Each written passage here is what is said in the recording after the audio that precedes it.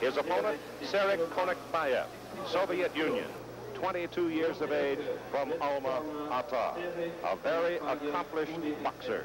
This is a gold medal opportunity for Mark Breland in his very first international tournament. Mark Breland has been so impressive, he has to be a candidate for the Outstanding Boxer Award. Here is the first bell.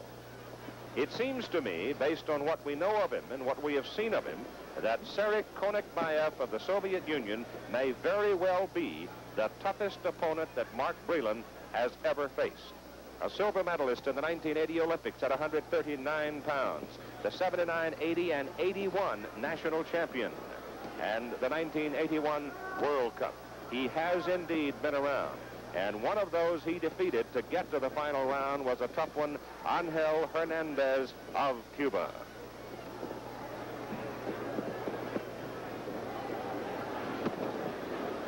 Mark Breland recovered some from the sore knuckle on his right hand and was completely willing in the semifinals to use that right hand with devastating effect.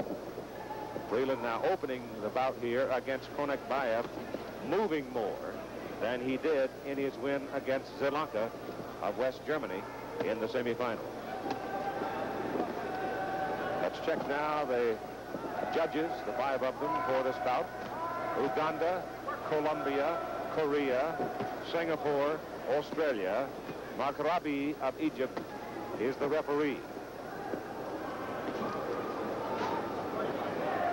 Breland moving easily.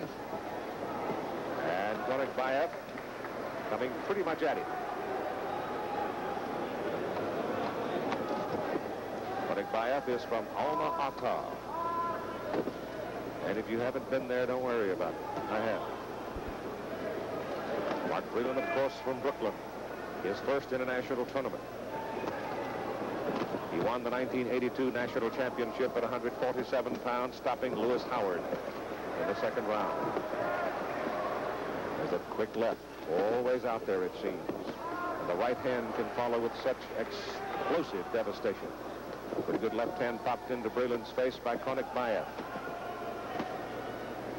Breland has the edge in reach by a couple of inches.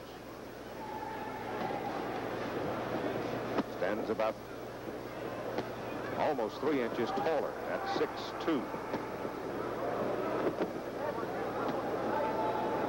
Breland picking away with that quick left hand, using his feet there. Solid left jab into the face of the Soviet boxer. Konakbayev's right, getting to the side of Breland's head. He leaned away from it and took away some of the impact of it. Mark's right hand high on the side of the head.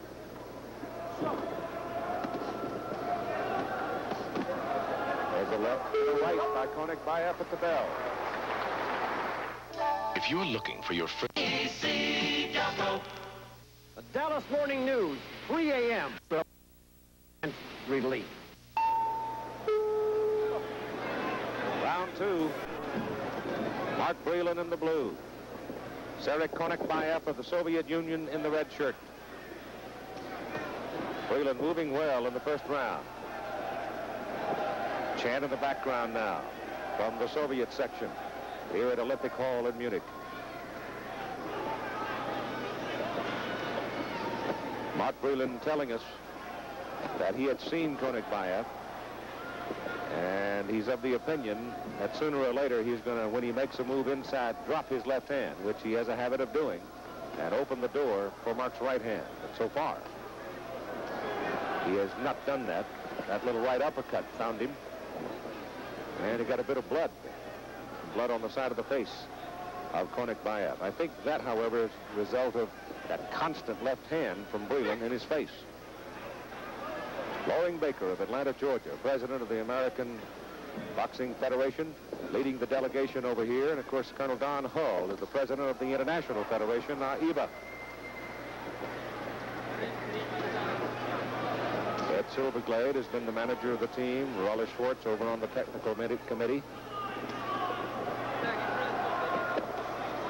Good right hand by Konakbayev. Missed with that one as Breland got away. So the Soviet boxer now trying to up the pace a bit here in round number two. There's a left hook almost got Breland. The right hand is on the side of the head. So Konakbayev now doing more scoring here in the second round. Welterweights for the gold medal. Good right hand. That was the opening that Breland had been looking for, and he got Konakbayev on the jaw with it. Didn't have a lot of leverage on it, but it was a very clean, sharp punch. Little nosebleed for up now. And a little less than a minute to go in round number two.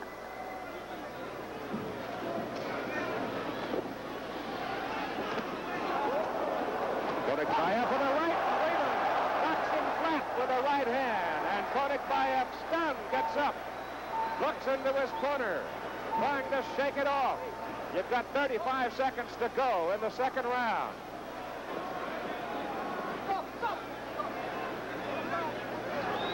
Konakbayev getting a little time there from the referee as he had ducked his head.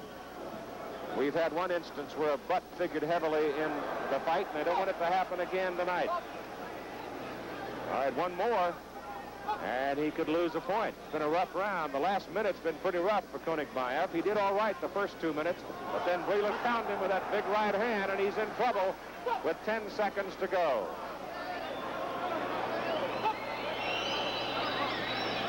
Referee getting pretty involved in it and probably helped Konakbayev uh, shake off the impact of the right hand. And the second round is over, and it's a good one for Breland.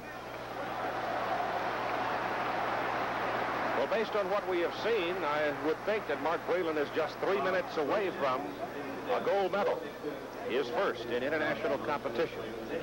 He's been struggling all along with that sore right hand, but you'd never know it because in the fury of competition, he's just simply gone beyond it and ignored it. Pat Nappy and George Washington with him right there.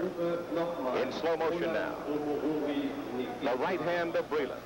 Flashing to the face of Konakbayev. Another right hand. He starts to yield, and then the third right hand puts him down for an eight count. And it was a decisive right hand that decked him. So there is concern in the Soviet corner. And there is some degree of confidence, surely, in the Breland corner. Mark stands up and gets ready to answer the bell. What a big moment it is for this 19-year-old.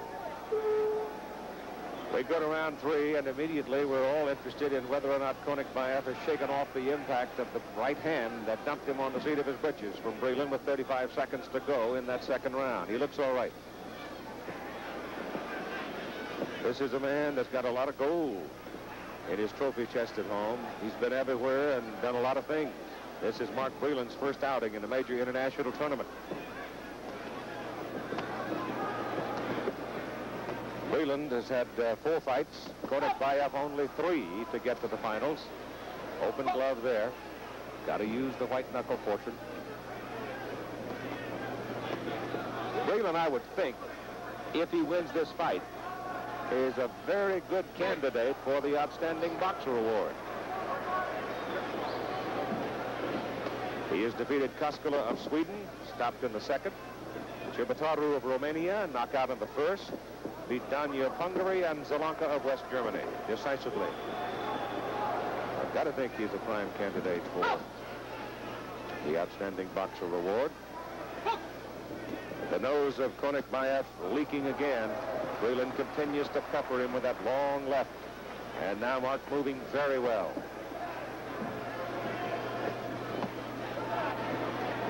You notice he'll throw that right hand quite a bit. But uh, for effect, as he continues to stab and jab and stick with that left. But then once in a while, he'll load that right hand, and it comes so quick and with such power velocity. That left is solid right there. The 22-year-old from Alma-Ata. Frustrated now. Can't find him.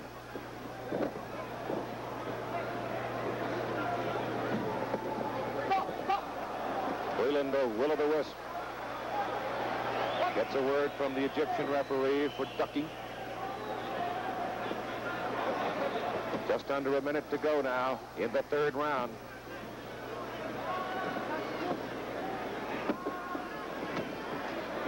Out comes that piston-like jet. Pop, pop, pop, pop the left in Konakbayev's face all the time, while right. And inside, Konikbayev is unable to reach Breland. Right hand is high on Breland as he moves away from it. The referee taking time to mop him a little bit.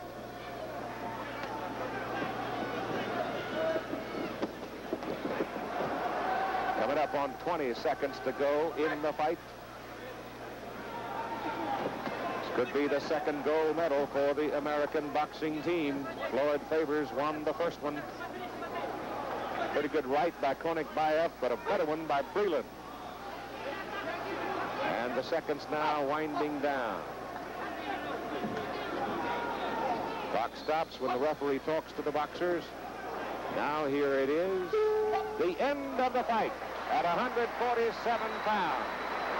And my opinion is it was a clinic by Mark Breland. We'll see how the judges felt about it. The coaches embracing Mark in the corner is home coach George Washington there along with Pat Nappy. The judges are Uganda, Colombia, Korea, Singapore, and Australia. And uh, they take just a few seconds here to get the ballots marked and get them passed around and put in front of the international jury where they are double checked. The two fighters have now been called to the center of the ring and we're ready. Unanimous decision for Mark Breland.